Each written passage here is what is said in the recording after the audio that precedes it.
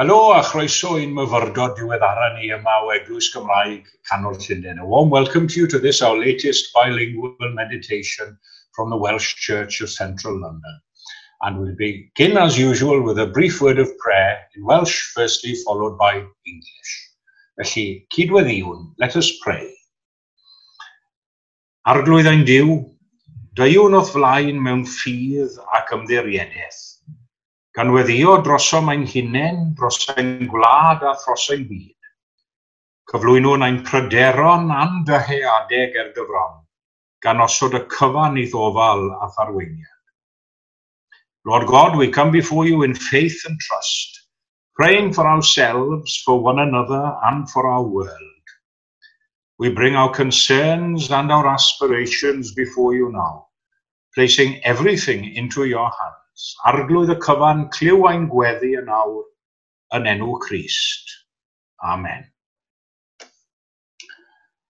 Felly, at y eiriau o'r broffwydoliaeth gan Esaia, o lyfr y, broff, y proffwyd Esaia. Geiriau cyfarwydd i chi siwr o fod, rai ohonoch chi, yn yr hen gyfieithiad mwy na thebyg na'r na cyfieithiad newydd. Dyma nhw i chi yn, yn Gymraeg, o deiwch i'r dyfroedd bob un am ei syched arno. Ie, yr hwn nid oes arian ganddo, deiwch, prynwch a bwytewch. Ie, deiwch, prynwch wyn a llaeth, heb arian ac heb werth. Everyone who thirsts, come to the waters, and he who has no money, come, buy and eat. Come, buy wine and milk without money and without price. Those are the words we find in uh, uh, Isaiah's, in the book of the prophet Isaiah, the 55th chapter and the first verse. Felly, rhywbeth da fi werthu i chi heddiw. Ac fel arfer, pan fod rhywun a rhywbeth i werthu, maen ma nhw'n dangos y peth dan sylw yn gyntaf, siwr o fod, yn disgrifio ei nodweddion arbennig, sôn am ragor ieithau a peth hwnnw, oherwydd nes bod rhywun wedi deall yn iawn beth sy'n cael ei gynnig, mwy na thebyg, dydyn nhw ddim yn barod i'w brynu. So that's my first job today, is to try and sell you something. And the person who has anything to sell usually tries to bring those who are buying up to the price they want. But my second business today is to bring you down to the price. Come and buy wine and milk without money and without price. Felly, dau ben yn unig ar eich cyfer chi heddi. Only two headings today. Firstly, to ask what's for sale. And secondly, to try and bring you down, not up, to the desired price. Felly, yn gyntaf, beth sydd ar werth? Gwyn a llaeth. Wine and milk. That's what's on offer. That's what's for sale. A dyma'n syml disgrifiad o'r efengil. A descriptive metaphor, if you wish, for the gospel. Mae gwyn, os ych chi'n hoff o wyn neu beidio, ond mae gwyn yn draddodiadol yn cael ei gysylltu gyda dathlu, yn diwedd ac achlasuron arbennig ac yn enwedig champagne. Ac yn y llaeth, y peth elfennol greu, greiddiol sy'n cynnwys popeth am hwn i sy'n angenreidiol i feithrin babi a, a chynnal bywyd newydd yn y byd hwn. So there we have it, the gospel, like wine and milk. There's everything in the gospel for the needs of everyone celebration and joy, It's in the gospel. Succor and nurture, strength for work and duty, it's in the gospel. Mae gwybodaeth i'r pen, serch i'r galon, llewyrch i'n llwybrau, arweiniad a chynhaliaeth. Mae gwyn a llaeth yn efengil Iesu Grist i bawb sy'n ei geisio. I feel that there's another meaning in the two words milk and wine as well. Wine is something that requires time and effort to produce, doesn't it? There's a vintage and fermentation process before any wine can come to its full flavor. And isn't the gospel like that? Needing, needing time to develop and ferment until we see its true and full effect. Ond llaeth ar y llaw arall, peth cyffredin iawn yw llaeth, milk, is available every day almost anywhere. There's no real preparation needed, although we pasteurize and purify it. It can be drunk in, in a natural state. Ac mae'r un peth yn wir am yr efengil, rhywbeth ar gyfer bob dydd o'r wythnos, nid yn unig y sil ac achlasuron arbennig fel y gwyn gorau, ond ar gyfer y gweithle a'n bywyd beunyddiol. Rhywbeth sydd gyda ni yn wastadol wrth law o hyd i flasu arno'n barhaus. And the wonderful thing for us today is the fact that all of this is free. Free in this respect, that we don't have to pay anything in order to receive it.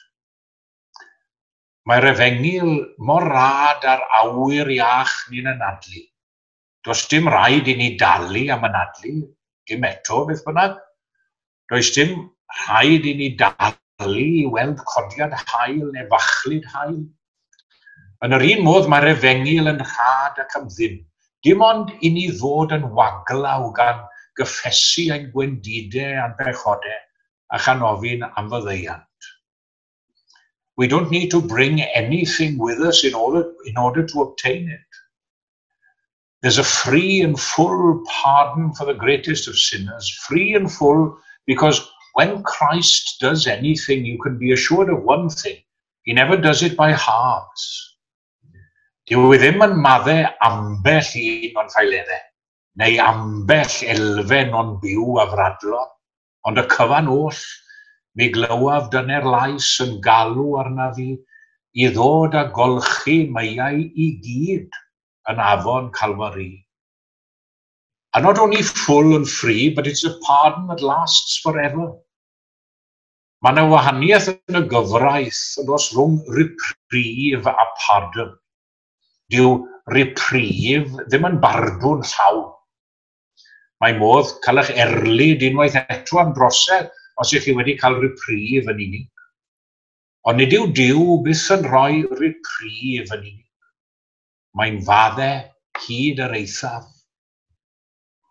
And this is the wine and the milk which is offered to us all, without money and without price. The only thing required is faith and belief in Jesus.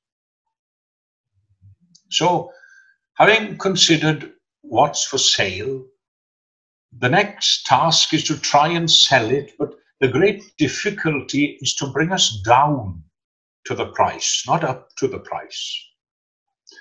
Dyma dyma efengil sy'n cael ei phrygethu heb arian ac heb werth, a nes a'n bod yn barod i ddod yn hollol waglaw, does dim modd yn y byd i ni obeithio i chael. Falle bod rai ohonom yn barod i gyfaddau a'n bod yn cyfrannu'n gyson yn ariannol at yr achos yn ffyddlon yn ein defosiwn cyhoeddus a phreifat, yn ymddiddori ym mhopeth yn ymwneud â'r capel. Ie, yeah, popeth yn iawn, rinweddau clodwyw a chanoliaethus iawn. Ond mae'r hyn sy'n cael ei gynnig yma heb arian ac heb werth. As long as we think that our good works can buy salvation, we, we'll never attain it. Not that there's anything wrong in good works, of course, they're fine in their place. Practice good works by all means, that's to be encouraged. But as far as the matter of salvation is concerned, we have to leave everything outside the door, as it were, and come as poor, guilty individuals without money and without price. Hynny yw, dyw gweithredoedd da yn ei hunain ddim yn sylfaen. Mae'n rhaid i ni adeiladu ar ddim byd llai na Iesu Grist ei hun ac wedi adeiladu ar y sylfaen gadarn honno. Mae modd i ni ddod â chymaint o weithredoedd da a phosib gorau gyd po fwyaf wedi hynny.